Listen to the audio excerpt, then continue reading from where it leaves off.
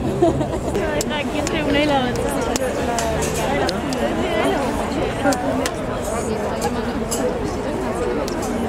Lo que pasa es que hay un montón de policías.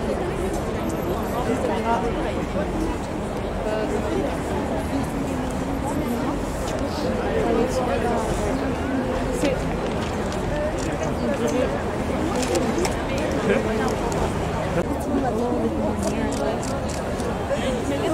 ってちょっと。